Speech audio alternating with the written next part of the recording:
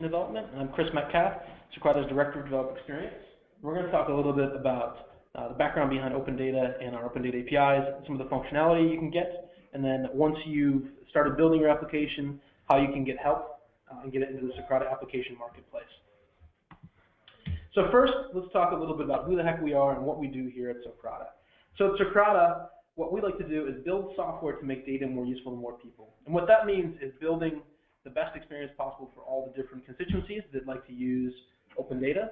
Um, you know, your, the, the, experience that you're looking for as a developer using an API is very different than what you know your mom and dad, uh, the normal citizen, might be looking for in order to interact with data. So we provide different experiences for that. We have open data APIs for developers. We have bulk data resources and tools for journalists and analysts. Uh, and we also have apps and data exploration tools for normal citizens. So we tailor our um, the experience we give people with open data to whatever their particular needs and skills are. We believe that greater access to public data makes cities better places to live, uh, and we really hold our customers to that account. We like to uh, try and figure out new and creative ways to uh, reuse open data in order to help people learn about their cities, help them uh, push cities to improve uh, the citizen, uh, citizens' everyday lives, and then also, we like, one of the things I love about the developer community is you guys get to do that too by using open data in API, uh, via APIs as well. So to that end, we make it easy for governments to share their public data with civic developers. We make it really easy for non-technical government employees to get their data in the Socrata platform, uh, and on top of that, we automatically layer on uh, the Socrata API tools that you guys are looking for without them having to spend a bunch of money uh, and build out a bunch of technology to provide APIs themselves. So one of the common questions people have is what kind of data is out there? We have about 150 um, local, state, county, federal agency, international customers around the world. So it's difficult to uh, to give you one single list of all of the different data sets that are available. But what we have done recently is started using machine learning to categorize those data sets. What we found is that data falls along several primary lines. Uh, one of the most common types of data we see is budget and spending data. So data about uh, what a city has budgeted for different departments and different projects, and then what it ends up spending on those projects. It's a great way of learning about where money is flowing uh, through governments, where it comes from, where it goes to, and possibly finding um, you know, creative ways to save money or to reduce uh, fraud in governments as. Another popular um, category is policing and crime. So details about uh, where uh, cops are going on police beats, details about where crimes are happening, uh, details about uh, 911 calls that are happening in cities. This really helps citizens understand uh, where the problems are, and it can also help governments figure out better how to target uh, you know, their limited resources in order to be more successful at keeping their citizens safe. Uh, health and public safety is another huge category, especially with one of our large customers being uh, HHS and the federal government. So data about uh, what hospitals are best to go for, what particular conditions, where, what kinds of healthcare is available from healthcare.gov, um, as well as uh, at the local level, uh, data about uh, what restaurants and nursing homes um, have been deemed safe versus what might have, which might have issues and violations in their inspections. Another big category is transportation and geospatial. A lot of our data uh, is around the vein of uh, things like where there are subway routes. In New York City, we have a lot of data about subway routes and stops. Uh, in Chicago, we have data about traffic. Um, geospatial data in general is also very popular, so things like uh, you know, county boundaries, neighborhoods, uh, building footprints, bus routes, all the kinds of things that you can use along with other data to help uh, citizens understand what's going on. So what can you build? Uh, one of the things I wanted to do in this talk as well was talk a little bit about some inspiration of the different kind of apps that you can you can build using the Socrata API. So I've picked out a few of my favorites, uh, and uh, we'll talk through those right now. The first one is called Citygram. It's a great project from Code for America that uses uh, real-time data around the things that are happening in your neighborhood uh, and then allows you to set up notifications based on that. So with Citygram, I can put in my address of my home or my work, uh, and then it'll notify me whenever there is a fire or a police call or uh, a new building permit issued in that area, and it'll send me a text message or an email.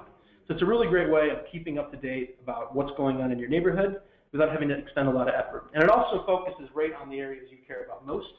So you don't necessarily need to learn about every single building permit around the entire city. You can just subscribe to areas that matter most.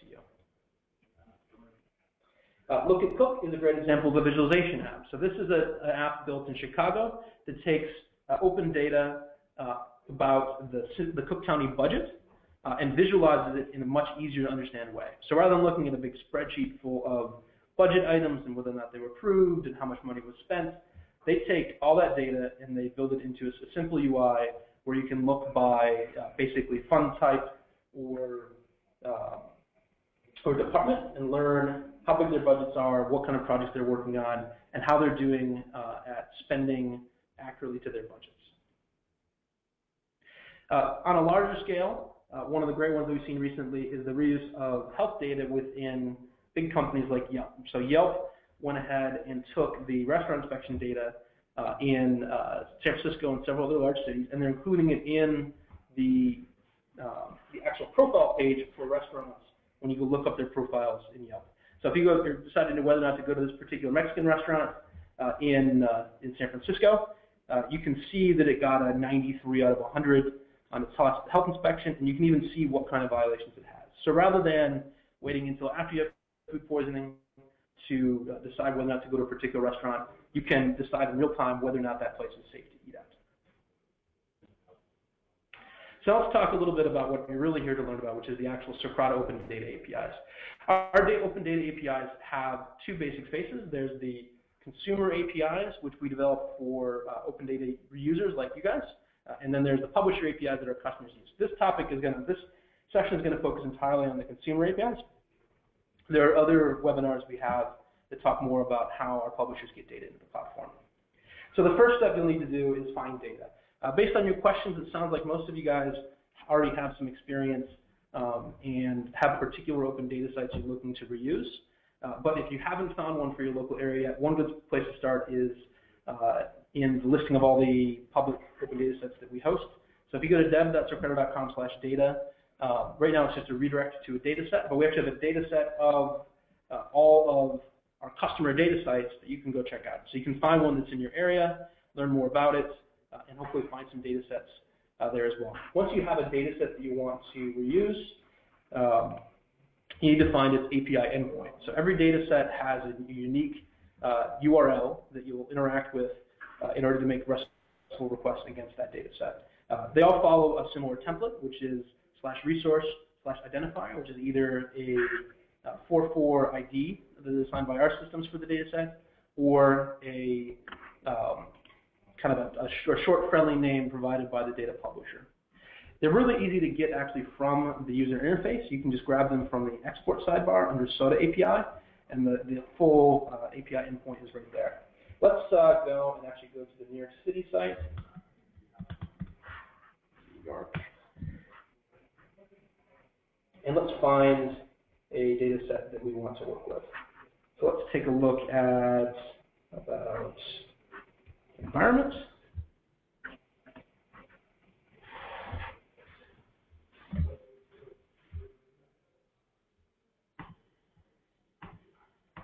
All right.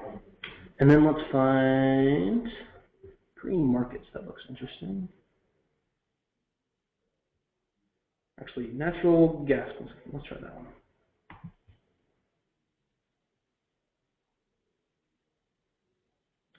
So within this data set, I can go into the export sidebar, click on SODA API, grab its URL, and I can start working with that. So once you have your API endpoint, you want to start issuing queries against it. The simplest way you can filter it, filter using what I call simple filters, which basically are just query parameters you add to that RESTful URL in order to filter the output of the data. Let me show you how that works using, this is a tool called Hurl. It's a great way of testing out RESTful web APIs by making direct HTTP requests. So I'm going to paste in that URL that I grabbed from that sidebar, uh, data city of New York slash resource slash identifier uh, you can also see the extension that's placed on that. That is a shortcut way of determining what output type you want to get. So we're going to be experimenting with JSON here. uh, and uh, I'll show you also how you can manipulate that to get other output types. So if I want to just grab that bare API, so just did a GET request, you can see the JSON structure of the of the data that we provide here. So every for those, for those unfamiliar with JSON, the brackets mean an array, basically a collection of entries, and then the curly brackets uh, are each individual object within there. The uh, the field names in this JSON structure are equivalent to the column headers in the data set. So if I look in the sidebar here, you'll see the columns that are provided by the data set. So zip code, building type, consumption, utility data source. You can also mouse over the little eye icon, and it'll show you what the field name for that particular column is. So the schema of the data set in Socrata uh, determines the schema of the API that you get out. Um, so if I go back to my data set here, I can start using the, the uh, fields in the data itself in order to filter the data. So let's say I only care about re residential uh, residential gas usage. I can copy its field name here and then add that as a parameter to my request and just say I want building service type class, type service class, residential.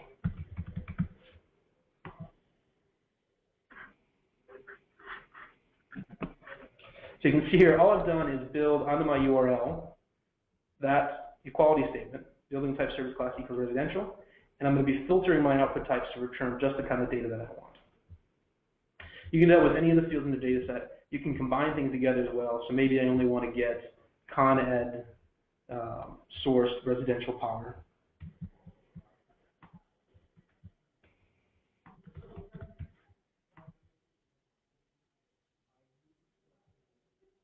So I can I can and those things together simply by adding additional uh, fields onto that URL as parameters.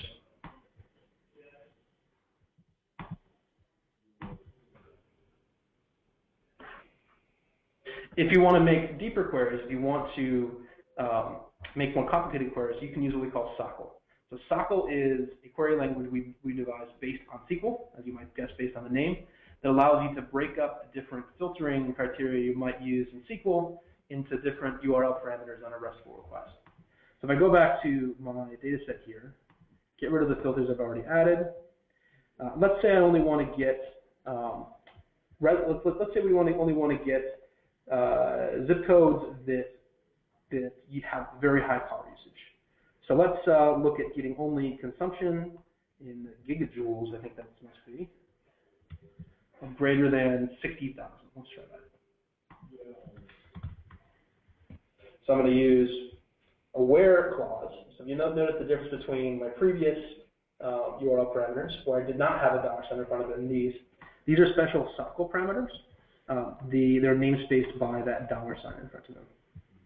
Then I can pass in my query as the value for that, or consumption in kilojoules is greater than 60,000.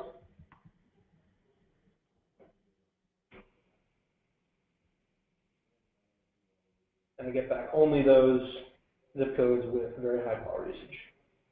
I could also and that together with something else. Let's say I only wanted to get residential. I could add an and into that and then building type service class equal residential. Just like I could do with a SQL statement. You can also combine these, uh, these different types of query parameters. I could, for example, add an equality filter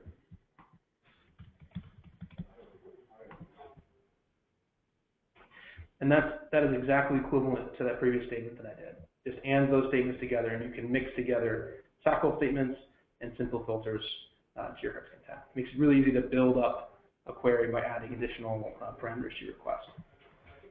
Uh, if you have questions about how all these things work, they're all documented on our dev site as well. So all the different SOQL clauses you can use along with the different functions you can perform for different data types are all documented within our developer documentation.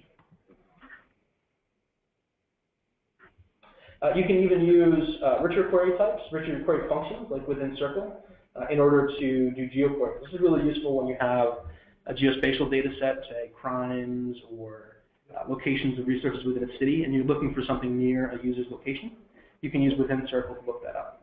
So if I go back to my Hurl console again, I can modify my request here and get things within a certain range or something.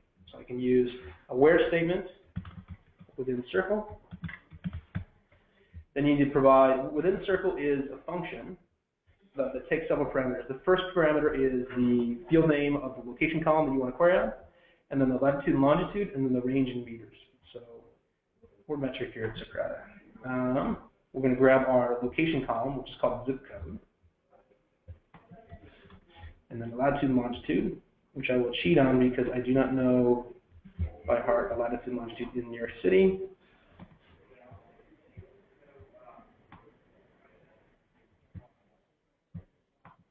And the range, let's say, uh, 100 meters is pretty short in New York City.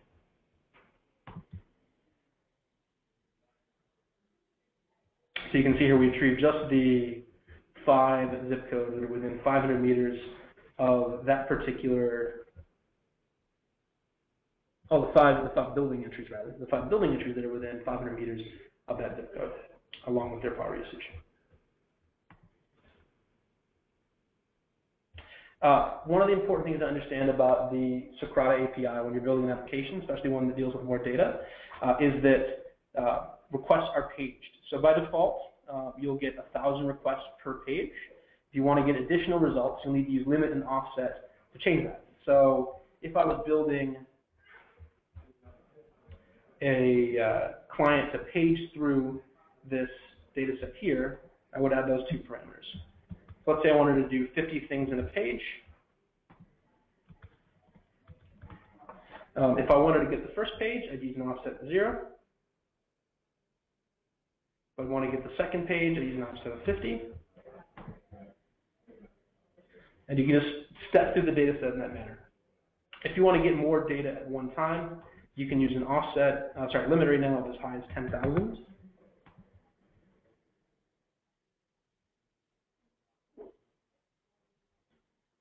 Takes a little bit longer, but you get the entire data set in one swath of less than 10,000 records. There are also export options if you want to pull down the entire data set for uh, for analysis or something like that. Another important thing to understand uh, is application tokens. So every developer, uh, if you're using the API, you can use it without an app token, as you've seen me do so far, to a limited extent, and it's throttled by IP address. And so you'll get up to probably about 100 requests per hour from a given IP address without using an app token at all. If you want to make more, uh, you need to register for an app token. So you go to dev.socrata.com slash register.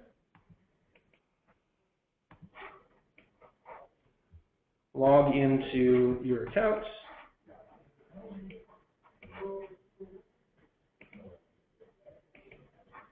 And then by filling out a little form here with just basically the name and description of your application, I understand that you're still in kind of the development mode, so it doesn't need to be super uh, specific quite yet. That'll get you an app token that you can copy into your application. App tokens uh, do not, by themselves, um, provide any authentication or authorization. It simply identifies your application as an entity. It allows us to, uh, to throttle your requests independently from other developers. So by putting an app token in your request, you'll get your own private pool starting at 1,000 requests per hour uh, that nobody else can impede on. So you don't have to worry about a really popular data set um, or you know, your, your developer running in a very popular IP address, like a hackathon, for example, uh, impeding their ability to use the API. Uh, in order to use that app token, you can either pass it as a header or as a parameter. So if I wanted to add an app token to my Hurl request here, I could add a header, x app token. Uh, it's by request, and then I'll pass it along to our servers.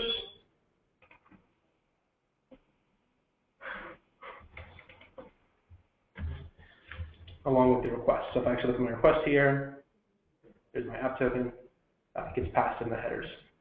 Uh, the equivalent to that is I could also do this in a parameter. using a double dollar sign at underscore token. The double dollar sign is a way of us saying this is not a SOQL parameter, it's a Socrata parameter. That is equivalent to adding it as a header. That's really useful if you're doing development in something like JavaScript uh, or another um, environment where adding headers is more difficult. You can do it all just as um, as parameters to the URL. So let's, uh, just for fun, let's uh, do something simple here. So one of the things I actually want to talk about as well is getting help. Let's, do, let's do help first, and then I'll show you something fun. So getting help, once you start working with the API, you're bound to have some questions. The best place to start is on our developer portal, dev.socrata.com, which I've been showing you a little bit. Our dev portal includes uh, getting started guides and examples uh, for both developers and data publishers. You guys are probably most concerned with the things within the app developers menu here. Uh, and then also API docs. So API docs contains you know, the specific uh, RESTful API level documentation for all the different functions you can do with Soda SOQL. So things like how to perform simple filters, how to uh, perform SQL queries and the different parameters you can use, um, as well as for particular data types, the kinds of queries you can issue with them. There are a lot of examples as well. So we use what we call cookbooks to explain uh, more specific topics that might be useful for particular data sets. This one is around uh, looking up um, uh, some data sets for anonymization. They have block level data, so you have the start and end of a block range along with a street name. Some detail about how to use the different parts of SOQL to query a data set like that. So there's lots of examples of very specific use cases um, that you can use on the API. Uh, if you uh, would like a library to get started with, so we have uh, a number of SDKs and libraries for different languages on dev.socrata.com slash libraries. I understand there's a lot of debate as to whether or not people want to start with a library or a Ruby gem or whatever on when they're using the API, they'd rather build on their own. We like to support both models. So we provide client libraries in a number of really popular languages, Java, Ruby, PHP, Scala, even Swift, the new uh, Apple development language for iOS.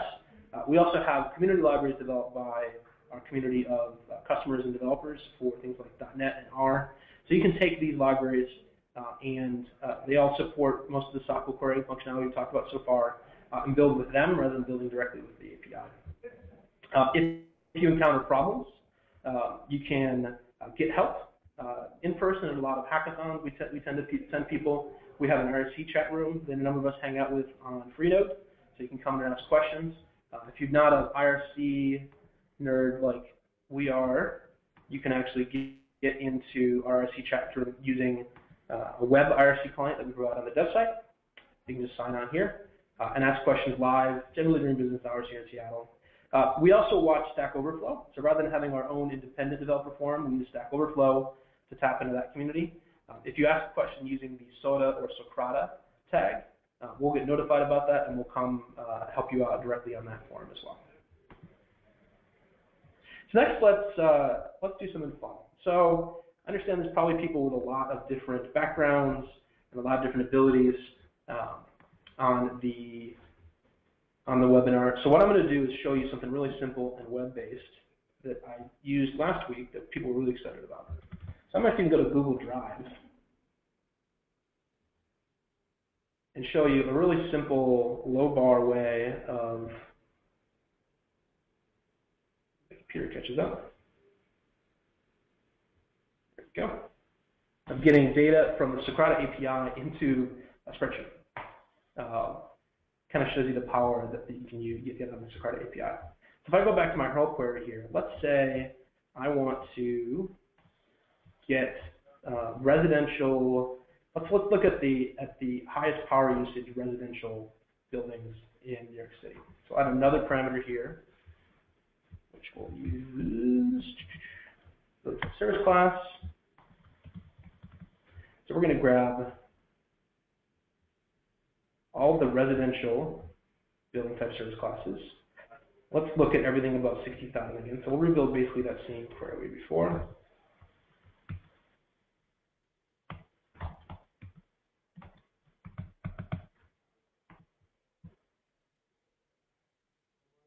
Okay, so I could, I could interact with this as a JSON uh, data set, or what I really want to do is get that in my spreadsheet. So you might say, oh, I can just grab it as a CSV by changing the output types. Uh, as I talked about earlier, that format extension uh, allows you to uh, change the output type of the API. I'm going to change that from JSON to CSV.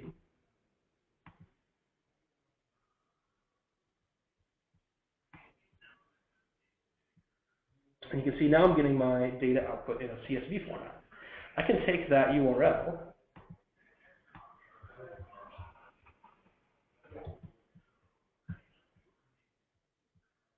Any good questions coming up yet, by the way? No, nothing. Okay, if you guys have questions, don't be shy, by the way. Uh, feel free to, to put them in the chat window or raise your hand using the little hand button in uh, GoToMeeting. Uh, and I've got my, uh, my coworker Tom here watching the questions and letting me know if anything comes up. So I'm just going to grab this URL here that would be my API request. I can take that right within um, Google Sheets here and pull that data in so I can work with it here. So there's a, a kind of not so well-known function uh, in uh, Google Sheets, and there's actually an equivalent in Excel as well, called import data. It allows me to just pass in a URL to a CSV. And it grabs all that data as, uh, as basically a web request. So this data now is a live query to the web. So Google's going to keep this up to date as New York City updates this data set. Uh, and it'll automatically update anything I do with this. So I can, for example, uh, come in here, and maybe I want to make a pivot table.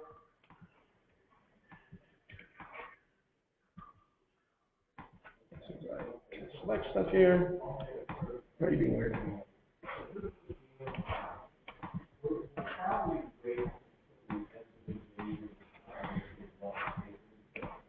There you go. Okay.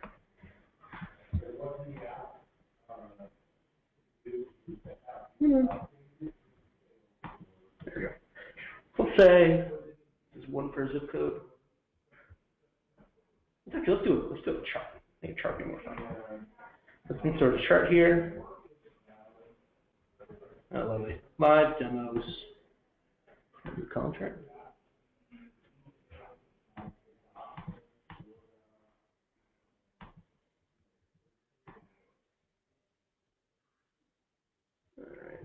One. That's not a very useful chart.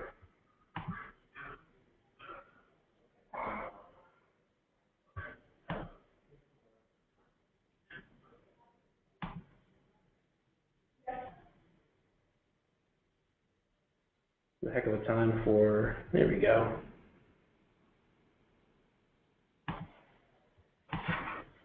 Uh, okay need to pick a better data type for this. Let's uh, let's change this a little bit. Can I do all these? Do this this way. I don't know why it does not like that zip code column. I could present, let's do a pivot table. I can at least show a pivot table and we can do a chart on pivot table. So I can do a pivot table report on this. And I can say, let's pivot it by building type and then we'll add in the assumption data. So we can we can start manipulating this data from within uh, Excel without Excel within within uh, Google Sheets uh, without uh, needing to worry about keeping it up to date. Let's actually we'll do a better aggregation here. We'll do uh, data source because I know there's going to be one more. Oh, it's all Con Ed. Great. Okay. But you can get the idea of what I could do with that here. This is really useful if you want to pull data into other systems into ETLs, into um, you know, keeping an internal system up to date. You can just grab that CSV format and load that right in. Okay, now let's talk about, I've become fabulously successful. What do I do with my open data app? So you've built your open data app, you've, you've got something that you, you think that uh, you'd like to get out to the community that, that people might want to buy or at least learn more about. So what you can do is publish that app into the Socrata app marketplace uh, and get it more exposure. So the Socrata app marketplace provides a lot of benefits. Uh, it's exposure to more citizen users, so it's not targeted specifically at governments or citizens. It's just a place to come learn about open data apps. Uh, it helps expose you to both citizen users and also to the government customers that Socrata serves, uh, and helps get your app uh, out there into those um, those markets where it might get lost in something like uh, you know the Apple uh, the Apple iPhone store, for example. Uh, it's going to reach the markets that really matter to it in the Socrata marketplace. we'll also help you develop and evangelize data standards. So if you become a Socrata certified app with a data standard, we'll help push that data standard into our customer base. So let's say you build a really great app uh, about uh, the location of dog parks, one of my favorite examples. Uh, we can, and, you build a schema around that, a standard, we can encourage our customers to adopt that standard and make it easier for you to build your app against those things. Uh, being in the Socrata Marketplace also gives you additional support from our team in mentoring uh, for questions and issues you might have with the Socrata API, and just gives you more access to us here at Socrata. Oops. Down.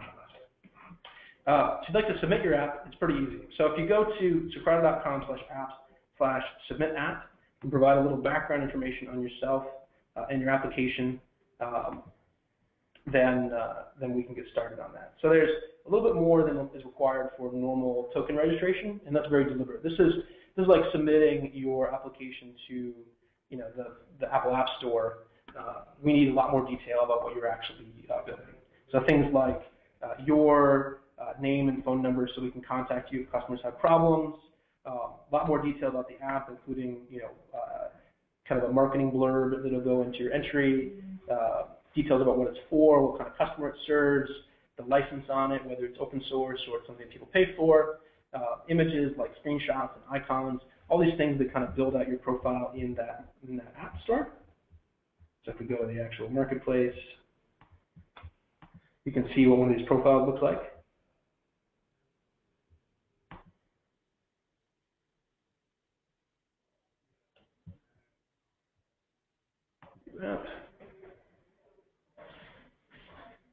So detail about you know the the actual uh, use case of the app, version information, platforms it runs on, etc.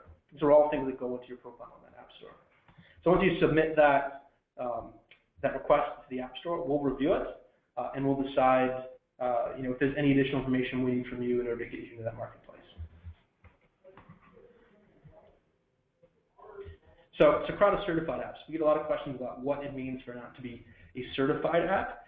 Socrata certified apps are basically apps that we've, uh, we at Socrata have uh, vetted and we have a little bit deeper relationship with those app developers uh, in order to give our customers a little higher confidence with them. So one of the we require is an approved uh, data schema. People get a little confused about what that one actually means. Data schema is not your database schema that you use internally. It's the format of the data. It's the, it's the, the standard for the structure of the data that, that the Socrata customer would provide in order to get their data into your app.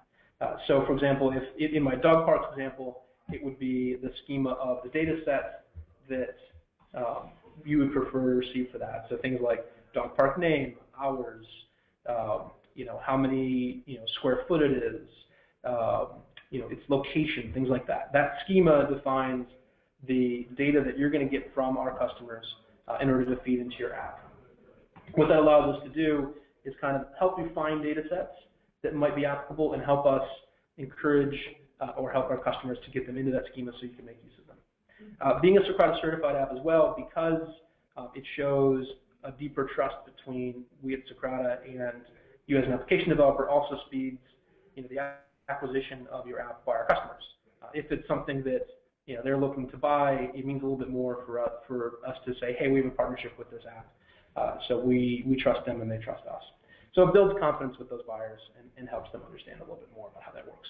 Any questions about uh, the Socrata app submission process um, or how uh, you get your app in the store? It looks like there's a couple that have popped up in here. Um, so one question from uh, David Quinn is about how does pricing work for apps? Do you take a percentage of anyone who buys it? So right now we're not taking a percentage on any apps. This is merely kind of a kind of an introductory, introductory service, a directory service to help people find about these apps uh, in order so that we can help um, help our customers find the open data apps that matter for them. Uh, any more questions about? No, there's a few questions here, not all about. I think that's the only one on the marketplace itself. There's a couple questions on the API from our previous topic that I can try and walk through here too. Okay, so I'm going to just go top to bottom here, and I'm going to try and answer as many as I can. Because now we've gotten into the question section. We skip over the returning slide. We can talk about what questions we've got uh, and review these. Okay, so Jordan says, um, uh, okay, I am, I've been developing state open data apps for 10 years. Interested in learning the best way to utilize larger data sets that update frequently. Um, how can we communicate more most efficiently? So uh, we're not going to be able to give you access directly to our databases, but what we can do is help you learn how to structure queries so that uh, you can efficiently get just the things that have changed since the last time you've updated. So a lot of data sets, if you look at them, uh, this one is not one of them. Let's talk about how you get changes to data sets.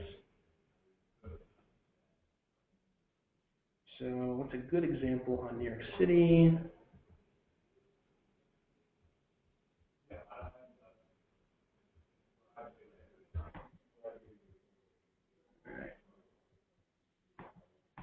Give me something that's a little easier to filter on. There we go. Look at just data sets. So one, one good trick you can actually use if you're looking for data sets that update frequently is on the data catalog, you can change the order to be recently updated. So what I've done here is I've filtered it's only returned data sets uh, and to order the results as recently updated. So let's look at this permit data set and we'll see if you wanted to pull permit data, how you might be able to get just the updates on that.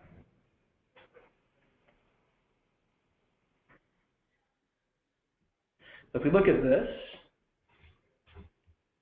just make sure there's a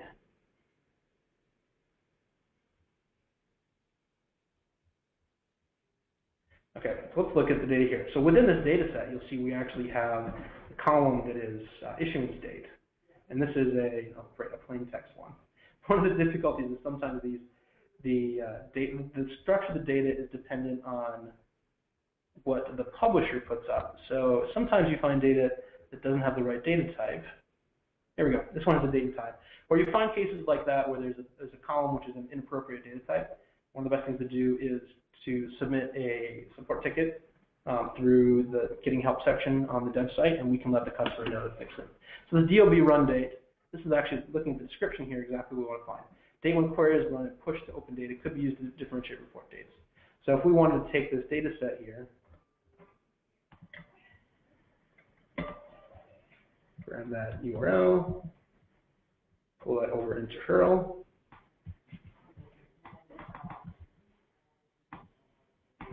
uh,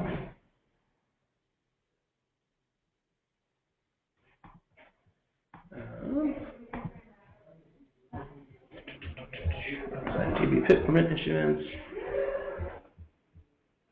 Scroll down here and grab its field name.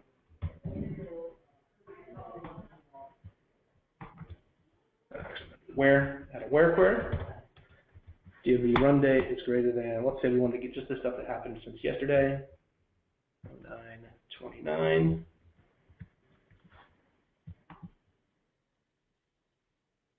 This would return us just the things that came in since yesterday.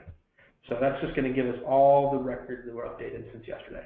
So within the data, you can usually find a way of getting just the most recent updates. If you have a, this is really useful if you have a giant data set. be looking at something like crimes or permit issuance for a big city like, uh, like New York City, you can grab just the updates since the particular date by using those date queries.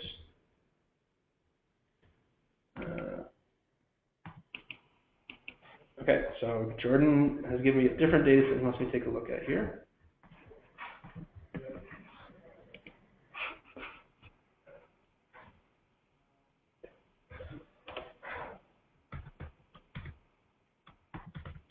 So this data set, there isn't a run date, but there is a violation date. So you can do the same thing using that violation date column, just to get violations that came in since the last time you updated your version of the data. That'd be the, the suggestion that I would actually use on that data set. It's not going to be called the same thing on every data set. The structure of the data uh, is dependent on what the customer has uploaded, not on Socrata. So it really comes down a lot to what data they provide about it. Okay, let's look for the next question here. Ramona asked if there will be more documentation that explains each data set. So um, the documentation, so the actual metadata about each data set is maintained by the customer. So like for this data set, for example, you have all of the description metadata and the descriptions they put on the columns themselves, which talk about uh, that particular data set uploaded by the city of New York. So the, the customer provides that. We also have uh, some technology we're working on that will basically allow us to provide uh, data set specific API documentation. Um, so that would uh, allow us to basically provide a specific API, API document for each different API for each different data set. That'll help you a little bit in using the API on that particular data set. Uh, David asked if we're going to be able to share the URL of the presentation. We will do that. There'll be a follow-up email. Uh, my slides are all posted on GitHub, so you can find them there. Uh, and uh, I think we're also recording this as well, so we'll post the recording later on too. All right. Um, David also asks um, how we handle versioning of data over time and how is there consistency in attribute names across cities. So versioning of data over time is largely dependent on uh, how the actual customer chooses to push data into that data set. Um, sometimes data, the customers completely overwrite the data set, so you'll see the changes as they come in. Other times, uh, you know, they'll, for example, have uh, a data set where they simply add records to it. So it really depends a lot, data set by data set, what that looks like. It comes down to the structure of that data itself.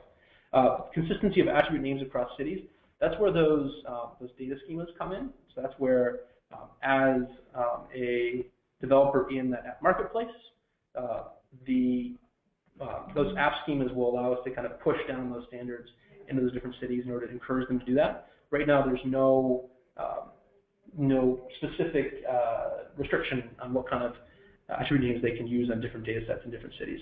Another thing we're working on in that regard is, is what we call the Open Data Network, which is all about taking similar data sets from different cities uh, and uh, making them more consistent through through other data standards that Socrata pushes down.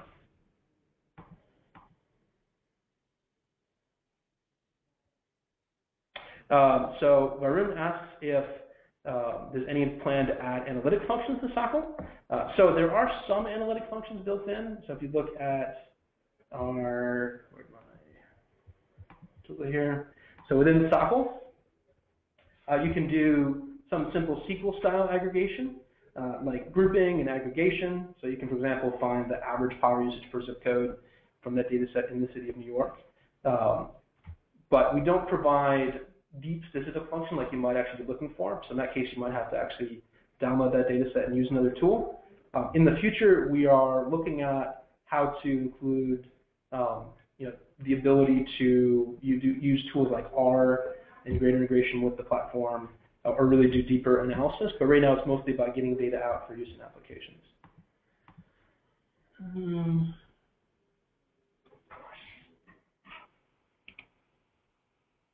kind of skipping through the questions here. We answered that one. Uh, Varun also asked, is there a way to get a metadata uh, metadata on data sets in a given data portal? The easiest way to actually do that um, is through the data.json endpoints on the site itself. So slash data.json is a federal standard for uh, basically the, the catalog schema uh, for a data site.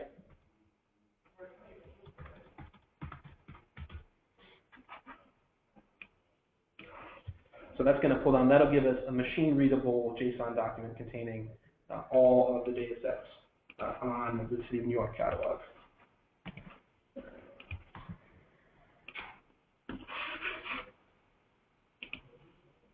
There we go. So here's the machine readable catalog for that site. All the different ways you can access that data set, um, the contact information for how to get help, metadata, etc. Jordan, it sounds like you might have some additional questions uh, about uh, how to access that particular data set. Um, if you'd like to contact me, I'll put my contact info up in a second. Um, I can you know, get our account manager to maybe talk to the customer about that particular data set, and see if we can improve it for you. I think that is most of the questions we had. And we're getting near the end of our hour, so if you have any last minute questions, um, feel free to stick them in the chat window right now, uh, or you can contact me uh, at, so my contact info is chris.metcalf.com. We have a contact slide, but I didn't do it this time. So if you have any questions, you can contact me there. Um, if you'd like to also copy supports at socrata.com, that'll create a uh, trouble ticket as well, so we can kind of track your request, and so our, our support team can help as well. So email me at chris.metcalf at socrata.com and ccsupport at socrata.com if you have questions. So Jordan, if you can please do that, we'll, uh, we'll try and take care of your question as well. Cool. Looks like there's no more question, guys. I'd like to thank you, and hopefully you guys found this useful, uh, and you should watch out for that follow-up email with links and more details.